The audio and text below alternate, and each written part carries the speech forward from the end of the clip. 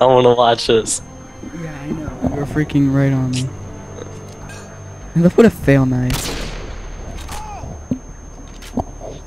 Wow. And you knifed me. I could have won if you wouldn't have knifed me. I'm sorry. Whatever.